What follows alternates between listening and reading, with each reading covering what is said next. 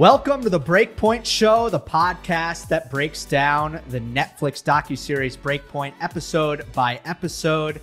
Second batch is out. We did episode six, and now we pick it up with episode seven of the series titled Saints and Sinner. I'm Gill Gross, joined as always for this series by Alex Gruskin. Uh, Grusky, how are you? Let's get into it with uh, the title right away.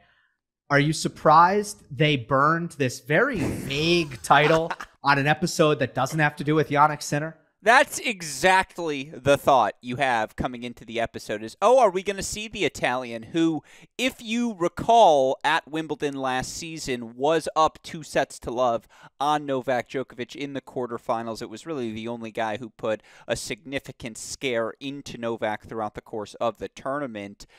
Yes, they burned the title. I think that's a very ass- fair assessment by you to start the show it it's indicative of the fact Sinner's not a main character yet. Maybe they know he's not going to be in season two either. But yeah, why burn it so soon? What's what's the play on words for Jannik? I don't see it. Yeah, yeah. I mean, it, again, it's not as if that needed to be the episode for this, the title for this episode. I mean, it's completely vague. Uh, this was a continuation of Wimbledon. So this is kind of new because the next episode, let's let's go 1000 foot view right off the bat. The next episode is going to go to the US Open. So in the first 5, we saw the Australian Open got 2, but then there was a Madrid thing. There was an Indian Wells thing. It seems like with this second half of the season, they were just like, nope, two for Wimbledon, two for the US Open. Then I think they'll go to the year end championship, and that'll be it. So let's get into the majors in more depth. Uh, Cincinnati, never heard of her. Canada, never heard of her. What do you make of that approach?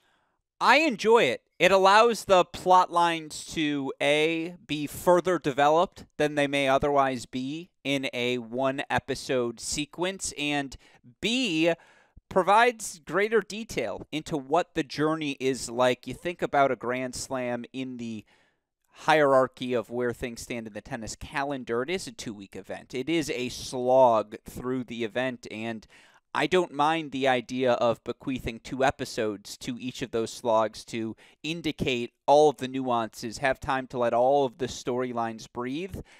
I also can't help myself, so I'll say this quickly. 1,000 foot view would be less than a mile away. That's like a fifth of a mile away. So that view's not that high. But the 10,000 foot view, I agree with you. I think it's actually a good idea for this show to explore things like this. Yeah. Uh, ignoring your your your wise comment. Go orange. Uh,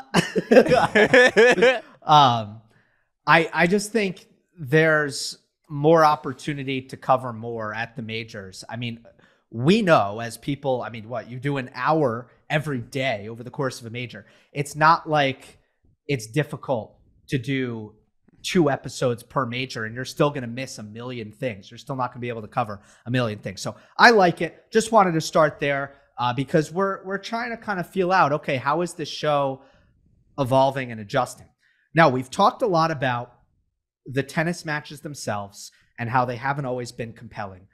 But the centerpiece of the start of episode both uh, six and now seven is this Tsitsipas Kyrgios third round match at Wimbledon. I happen to think that while this did deliver as a match that everybody was watching at home and buzzing about and talking about, I also thought it was a perfect match for this docu series, and it was probably the most compelling tennis match portrayal that we've seen because the approach that the doc has had to take with these matches is all like mental, mental, mental. We're not talking about big break points. We're not talking about technique or tactics and strengths and weaknesses. Like all that stuff is really out the window. But for this match, well, it was actually an example of when we were watching, we were like, okay, like Nick is totally in Steph's head, isn't he? And Tsitsipas has no control over his emotions. All of the gamesmanship stuff is totally getting to him. And he can't focus and he can't play well because he's too angry at his opponent to possibly play well. That's what we thought it was when we were watching the match. And here, Tsitsipas basically is able to kind of reaffirm that yes, indeed, that is what happened in that match. And I thought it it made for uh, a really compelling uh, moment in the docu series. It's a perfect synopsis. It's a perfect summation of what we saw, and this again is the benefit of allowing a storyline to play out over two episodes. Part one, not only do you get legitimate conflict, legitimate inciting incidents for, you know, to grasp the viewer's attention but you also have the scene being set. People like Andy Roddick talking about the volatility of a Nick Kyrgios and, you know, perhaps the exceeded expectations he has for himself. You have someone like Patrick Mouratoglou, who of course coaches Stefano Tsitsipas, not only offering intimate insight into Tsitsipas, but also his perspective on the challenge that is facing Nick Kyrgios. And you're absolutely right, because for two people who cover tennis, as you and I do, I've said this in prior episodes. Our friends, whenever there's a moment in tennis that breaks into the mainstream, I know they all text me. I'm sure all of your friends text you to get our two cents. In real life, this was a match that broke into the mainstream conscience. And you're absolutely right. We all have those memories of watching Tsitsipas fire a ball into the stands and watching Kyrgios continue to plead with the umpire and you know, play the victim card, dare I say, for an on court scenario like that. And it was fascinating. It was captivating. You had to tune in, regardless of if you were a tennis fan or not. And as you summarized so beautifully, Tsitsipas said, Look, you all see it. That's exactly what happened. And I like the cl- closure is the wrong word, but it just provides the full scope, which is what a docu series like this should do. Yeah, if every match was that, then the way that this series does matches would work. Well, so can I ask you because I still think the continued prob problem's the wrong word, but a continued question critique? Uh, not even a critique. It's just what do they want to do with the actual points themselves, with the actual tennis that was played. And I still think if you're going to have a critique of their coverage of this match, did we see enough tennis? Is my question to you.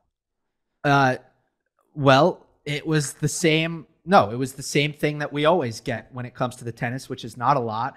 It, it doesn't refresh me when it comes to like. Yes. Exactly. Oh yeah, like that was that big point. Yes. That was that great shot. Or yes. Or that was the the game at five all. Like, let's just make a hypothetical here. And this didn't happen in the match, I don't think, but Let's say at five all in the fifth set, somebody hit two double faults, was broken, and lost the fifth set 7 5. I don't think that would get in there. Like, I, I'm pretty sure they'd skip to the match point and it you would have no recollection. Where in the F1 doc, when when Verstappen is leading and then Christian Horner makes a tactical error by making him pit too soon, like that gets in the show. And I understand, you know, sometimes it it's a different sport. So I'm not saying both of them are the same or it's just as easy to portray tennis matches as it is an F1 race. But is that kind of an accurate like analogy and comparison in your opinion? I think you're exactly right. And I don't know if this is a positive or a negative. So this is my last question to you, and then please take us in whatever direction you want to go. I felt compelled after watching this episode, after watching the sequence of episodes in this match unfold, to go back and rewatch the highlights. And yeah. I'm curious if, and I ask this to people viewing this episode on the Gill Gross YouTube channel, listening to our Cracked Racquets podcast feed, let us know in the comments did you feel the need to go rewatch it? And if you're a tennis fan, did you think that was a good or a bad thing? If you're just a fan of the show, I, I guess I ask you, is it a good or a bad thing? Is that's the feeling the show evokes? It's bad. It's mostly bad. It's not catas- It's not catastrophic.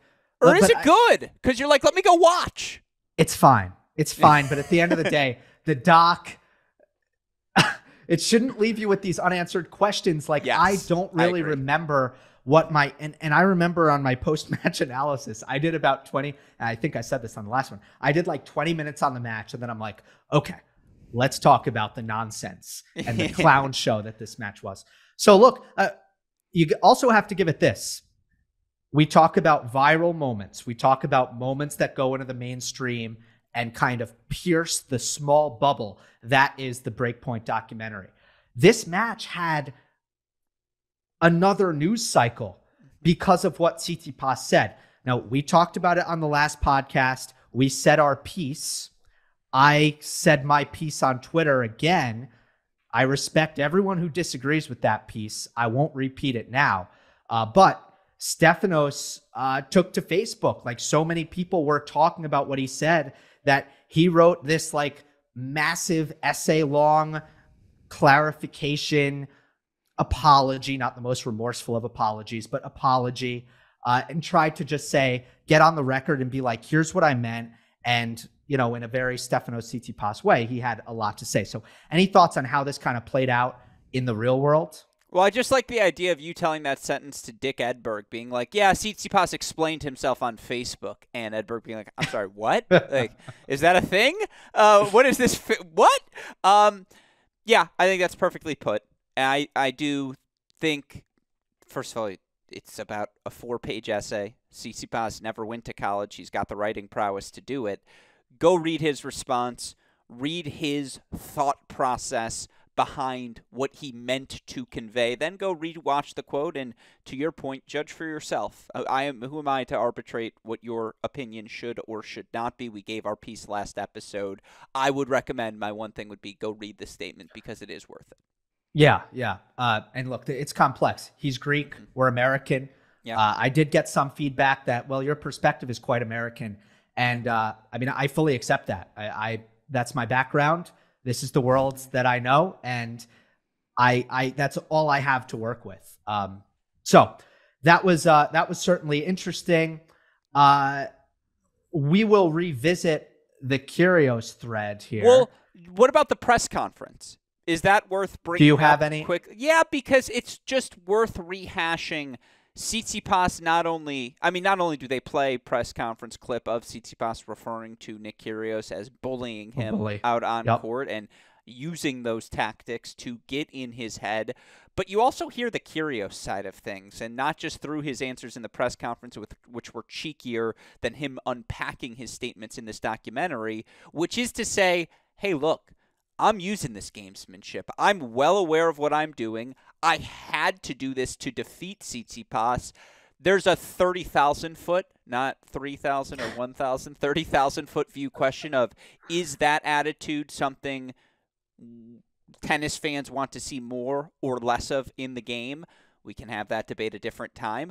But I thought it was fascinating to hit hear Kyrgios again candidly say, "Yes, I uh, gamesmanship is part of my tactics." Yeah, I mean, look, good good use of the press conferences here. Yeah. Obviously, that's not exclusive to the to the documentary. You could have seen sure. that after the match, but yeah, they, they did have this back and forth, uh, and then they went back to uh, the the anonymous tweets, the tweets from Twitter yeah. accounts that like they could have made I these that tweets that up. Bothers Gruskin. you, Grusky. Literally, these tweets could be made up. There is no proof that they're real tweets. When you blur out the username and the profile, there is no verification that these tweets were ever sent. Dainu is what they say in our culture, my friend. I agree. Yeah. Uh, and then one thing that Nick does say, if we're talking about this just real quick, I thought he said uh, he told uh, Costeen, his girlfriend, that he's not looking at his phone because these comments that he reads, yes. they stay with him. Wasn't that wasn't that fascinating to hear? Yes. Look, these we forget this about. I mean, look, I think you and I probably have some awareness of this, but God, these people are human. And when you look at your phone, and even if there's eight compliments and one negative comment, the, the negative one just stays with you. Well, case in point, I can't help myself but read the comments in your video section, and I'm so grateful the Gill Gross YouTube channel audience is so kind to us. Shout out to the person who said I got even cuter. I would agree. I think I've aged mm. well. Um, I saw um, that. They perhaps get upset when I go on tangents or rants that take us off center, and I will do my best to rein that in. Episode six was our first episode of the second batch as one, so I got to refine my footing. I appreciate everyone's patience. Negative comments are still passion, and that's all I ever appreciate, so send them our way, whatever you think. We want to hear from you. I'm glad my tangent there allowed you to bring up that point because I agree. It, you think to yourself, just shut off your phone, but it's like, well, wait, I got to text my mom or I got to call whomever my friend is. And I guess you can turn off the notifications on Twitter, but when it's Nick Kyrgios level notifications, you're just going to see them. It's so personal. Yes. When it's on your yes. phone. Like it used to be, oh, I'm getting hate mail. Yeah. It's like that that was mail. Like that was yeah. legitimate mail. You had to open it. It was a choice. You could feel it and be like, ah, it feels like poop. Like you could yeah. be like, I'm not doing this one. And if you were rich, you could hire someone to open it. yeah. So let's go to Jabeur. Where's now. Horse? Jabeur, uh, that should be Horse's job. I'll read through your tweets.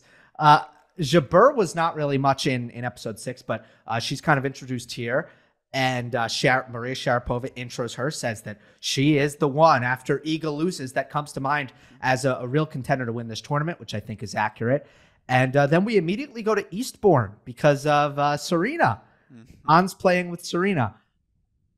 Here's my thing on Ons. Uh, I thought that this episode did a good job of just building her stardom.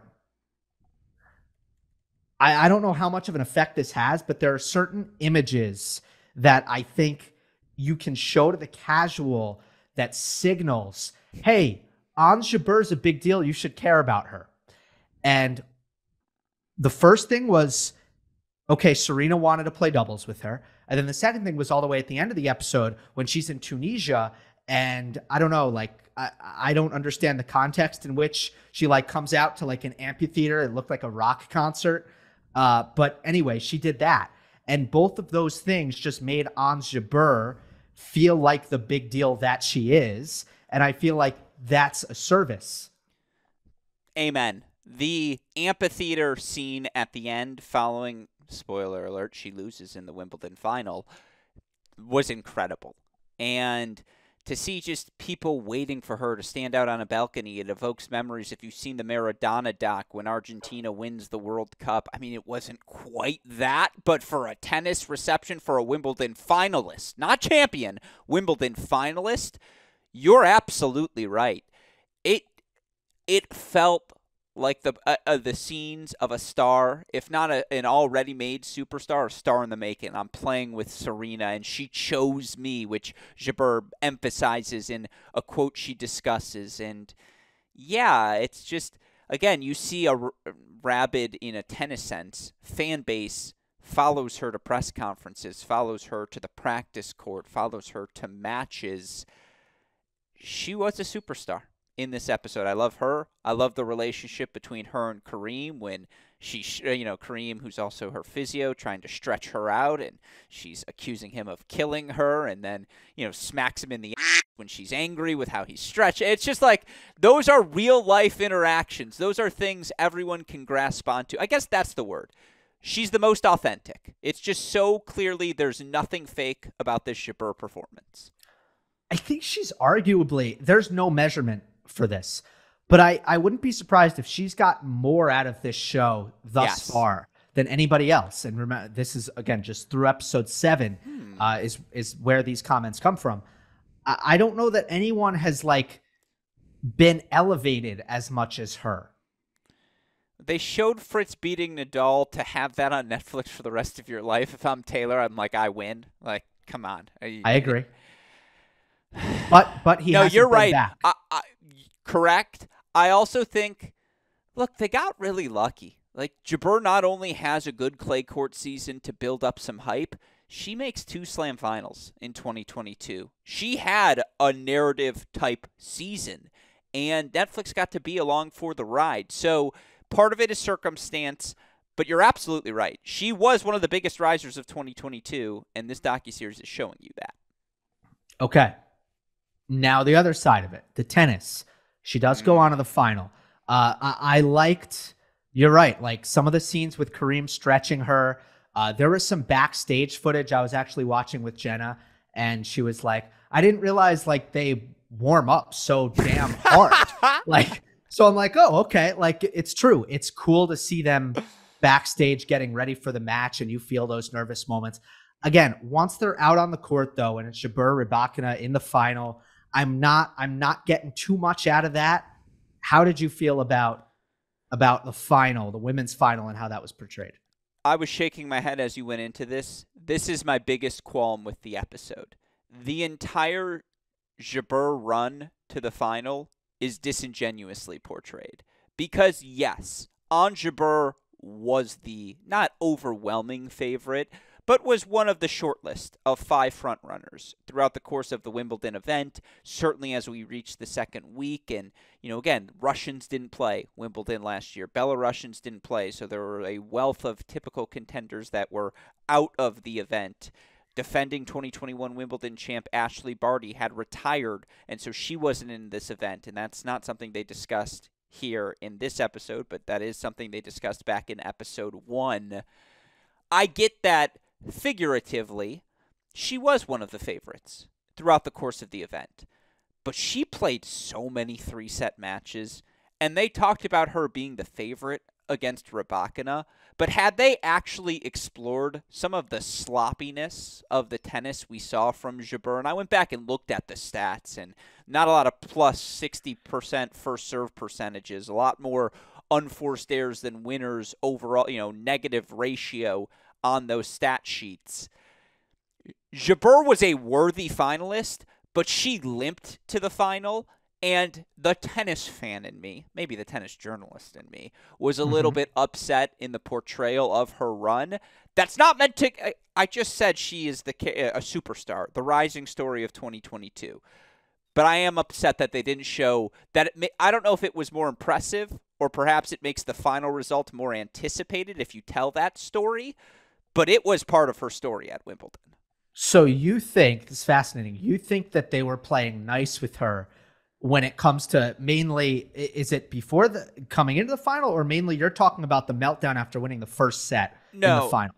Well, both. But I think they did a little bit better of portraying the the what flipped for Rybakina. For me, it's quarterfinals, semifinals, where like she like I think it was Bouzkova. She played in the quarterfinals, yeah. and it was a three set match. That's not a good result. And I apologize, I'm blanking on who she faced in the semifinals. Another three set match, another match that, if my memory is serving me correctly, it's just not a player she should have gone three sets with. You have the answer. You look like you do. Yeah, no, I'll I'll get the answer in a second. Um, but that's my whole theory. It's just why I think they did it is because then when she wins the first set against Rybakina, you're like, see, this is the favorite, kind of doing her thing as she approaches the final, and you can't just be all negative Nancy yeah. throughout. You got to build some some arc. But Jabeur made the Wimbledon final. She didn't play elite grass court tennis. She was just the best of the rest. No, I mean the draw. The draw was so Tatiana Maria in the semifinal. That's who it was. Which, like, come on. yeah, uh, she was you know 103 in the world's coming in. Uh, they totally kind of, you're right, they smoothed, th- smoothed that over. Uh, the highest ranked player that Jabeur faced en route to the final was uh, Elise Mertens, yeah. 31 in the world at the time, the number 24 seed. Uh, but that's a great point. The draw opened up for Jabeur. She was kind of bumping along. Not, not. You're right. Not A1 performances. I will say, someone in the comments, you talk about the negatives one sticking with you. Someone goes, yeah, whenever Gruskin says I'll do this quickly, you just know it's not going to be quickly. Uh, but uh, this one will be quick. I pro- again, I laugh at those comments because I'm like, oh, that's pretty funny. Like this guy knows what he's talking about. Uh, the reason I bring that up quickly here is just the le- you know again the level of play was not that great from Jabeur, and I think it's easier for the show to tell the story of she's always wanted to win Wimbledon. She's a top contender, uh, figuratively, according to all the prognosticators. Now she has this opportunity for a crowning moment. It's a way better story to tell. I just think it's not the, the full story. Yeah, I, I mean, that kind of comes back to like how much of a journalism sensibility yeah, sure. is the doc gonna gonna gonna take Uh, we can talk about that. Uh, I'll also just add on to kind of wrap up the Jabeur thing. I think we've covered our bases there. Is that like they didn't really explain Rybakina at all? Uh, yeah. Well, they showed her like they did give you flashes throughout the event of like, who's this tall person? Oh, she must be relevant later. And then it's like, oh yeah, this is who wins the freaking tournament. Yeah, they they could have. There could have been more like, let's just explain who this person is. You know. Yeah ultra talented, massive serve, uh, arguably lucky to be able to play Wimbledon because, you know, she just switched federations. She's really born in Moscow, uh, ethnically Russian.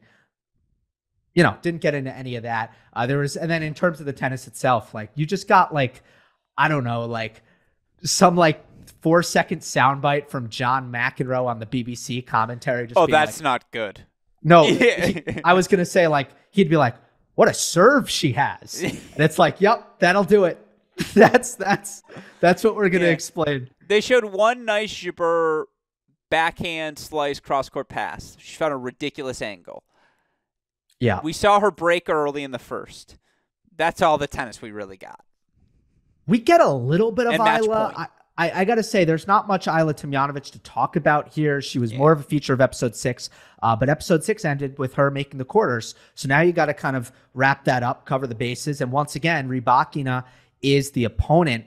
There's there's not that much here other than like to me the standout moment of this was Ajla after the match is pissed and like Ratko is once again trying to like be positive and be a jokester and like the the contrast between those characters, which is daughter and father, hmm. was was still it's the gift that keeps on giving. Yeah, he's like, I have to be me in this moment. She's like, stop it, and he's like, no, like, come on. Right, like she just wants to be alone and pissed off. Yeah, and Ratko is like, Ratko is like, guess we can leave the hotel now. Yeah, exactly. No, you, yeah, that's a great line. Like, he gets he gets two minutes of screen time. He still might be the biggest winner of back to back episodes.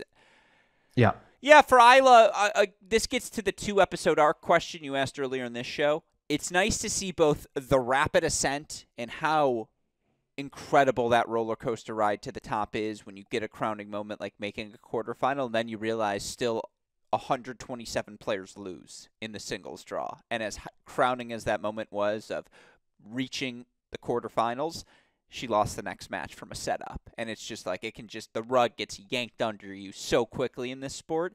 And I'm glad they had the opportunity to show both halves of the equation. Yeah, well said. All right, back to Nick. Back to Nick, and then we'll wrap this up. Kyrgios before the quarterfinal and, and really sequentially after the Tsitsipas win. The next we really hear from him after they wrap up that whole hullabaloo is is the is the sexual assault story, right?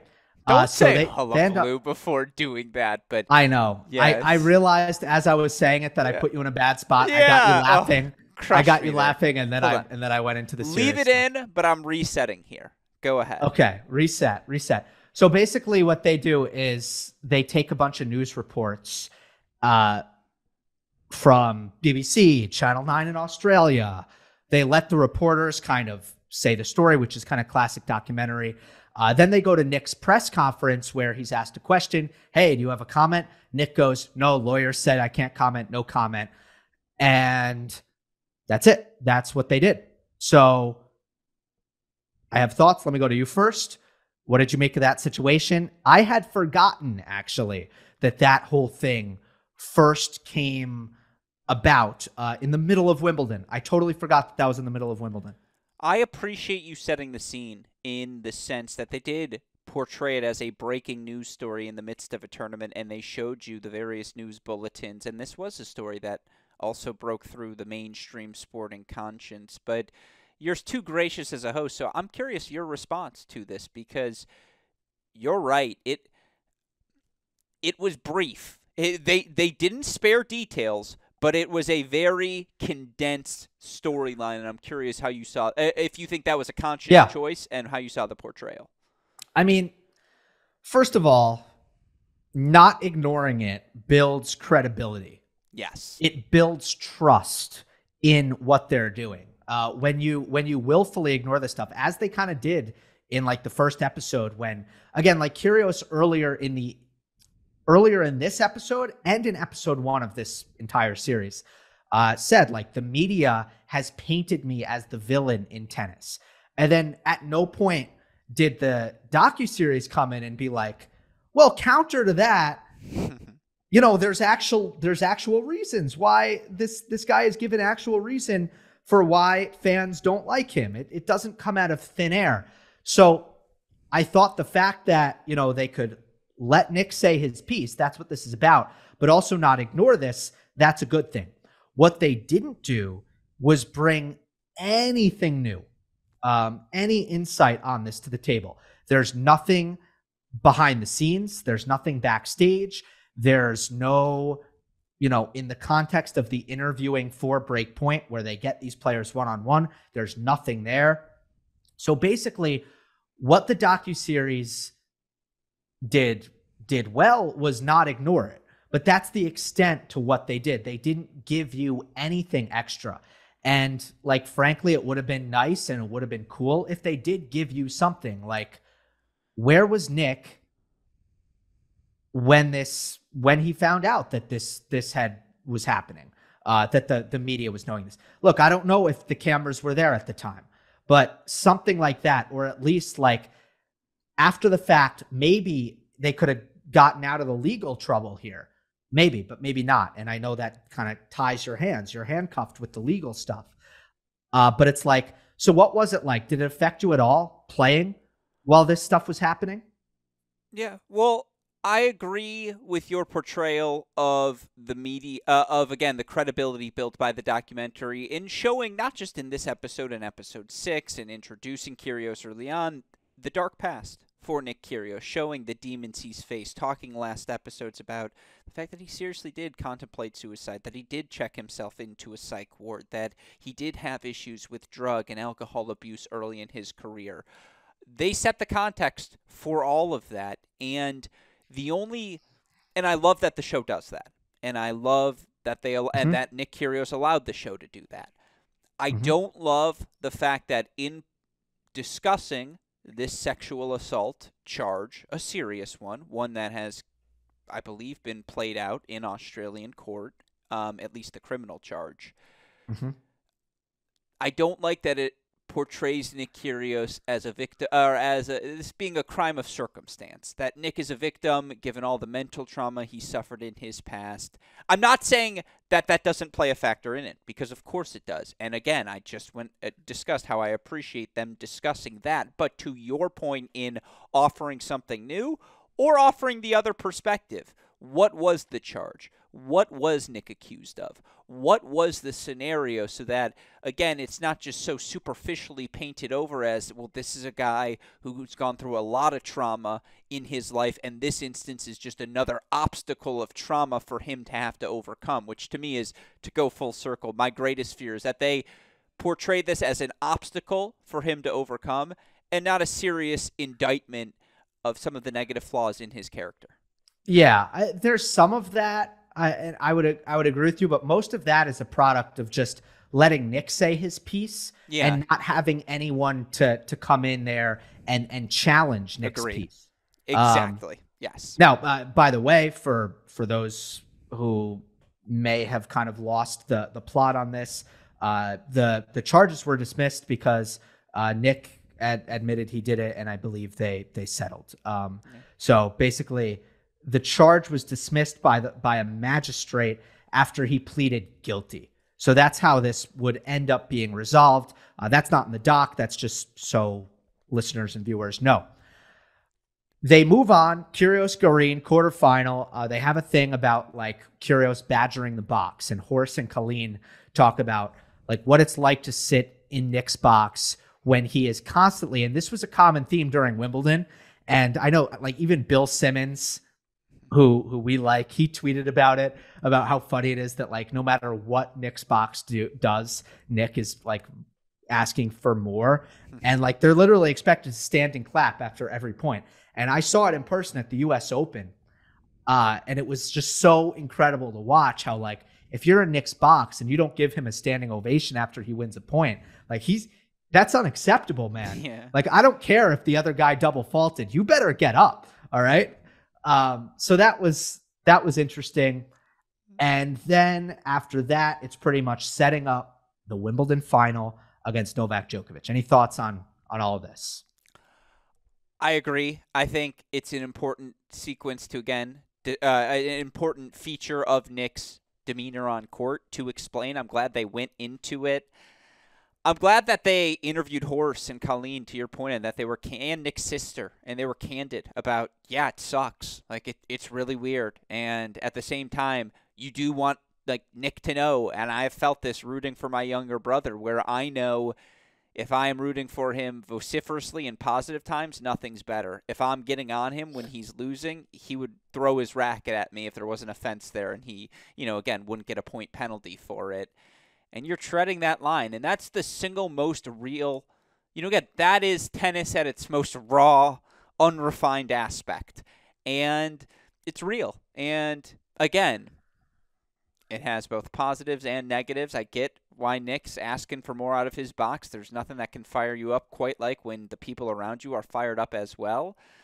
It speaks to the ridiculousness of Nick. I agree with you. I'm glad you pointed it out because it was a fun detail.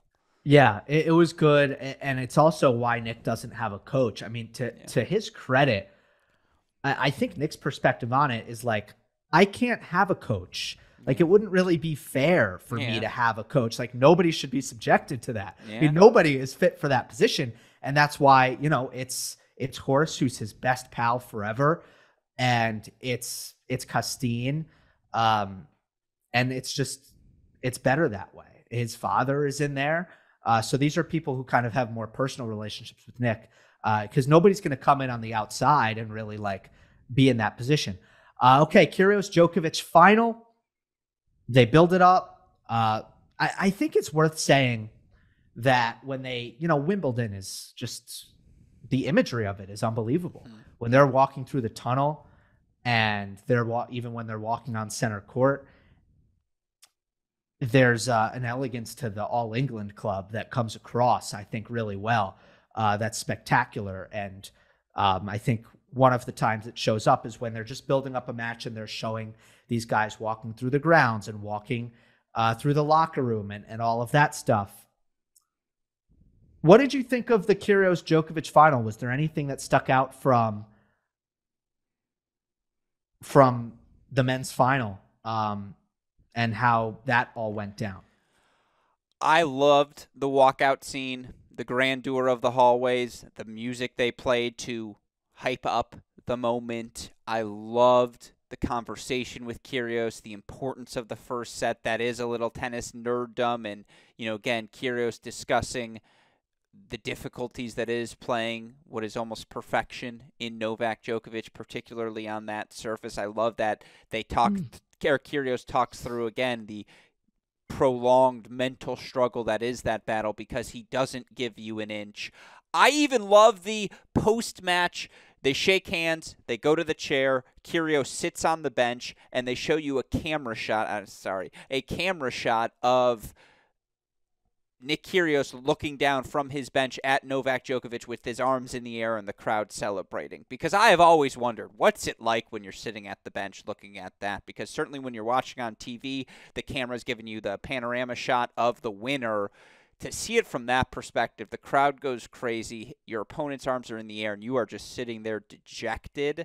Like it's just a little six second shot of oh my God, like that would be the most overwhelming moment of my life. I cannot even imagine. And I thought it was really well portrayed. Yeah, good cinematography note, Grusky. I'm learning, slowly learning. I agree. Uh, well, the the final, if you lose the final, you can't leave. Yeah.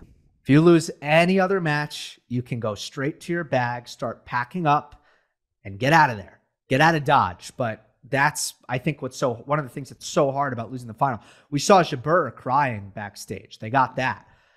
And um, I loved and, that, by the way. That's another yes. thing where just again how empty you are, dejected. The fact that everyone does the corny you got to look at the positives. You learn more from defeat. And it's like, even at the highest level of the game, that's all you can say to someone in that moment because We've all been there. It it was incredible. I'm glad you brought that up. Yeah, I really liked Nick's commentary throughout the final against Me Novak. too.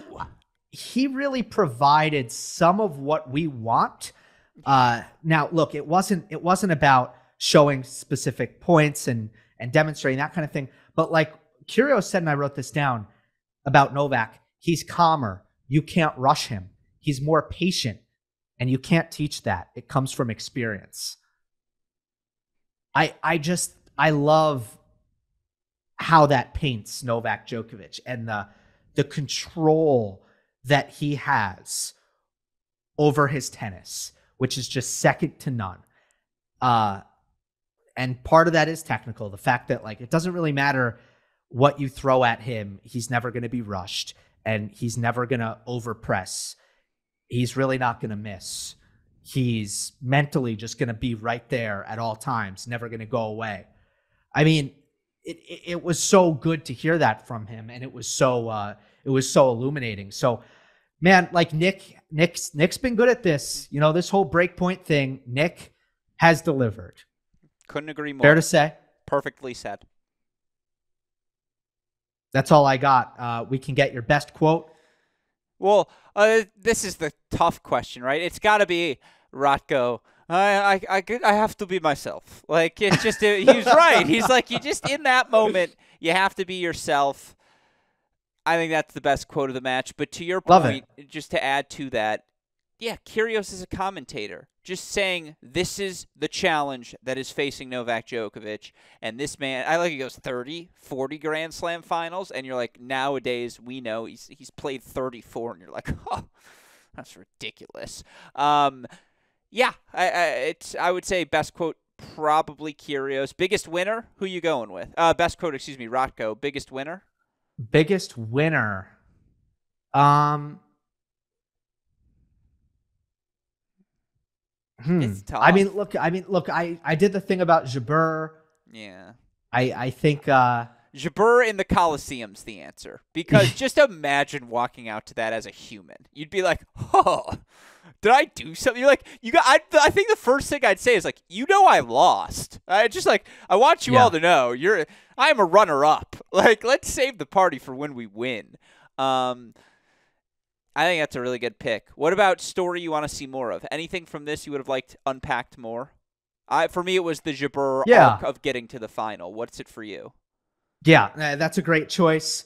Uh, for me, it's okay. Like you had two matches against Rybakina. Could we get Yeah. anything?